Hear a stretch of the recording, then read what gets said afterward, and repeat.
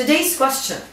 For my spousal sponsorship application, what is a common law partner and how do I prove our common law relationship?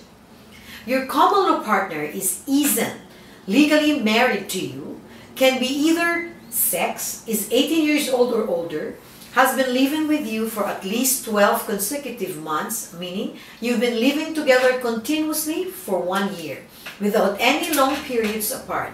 If either of you left your home, it was for family obligations or work or business and travel, and any time spent away from each other must have been short or temporary.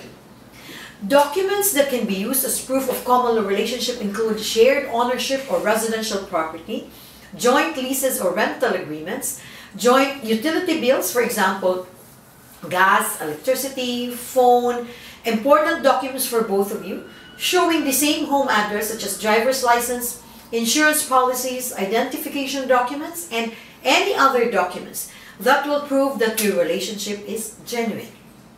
If you need assistance with your immigration application to Canada, contact us through our website, our Facebook page, or call us at 780-758-2045 or send us an email at info at mcncanadaimmigration.com.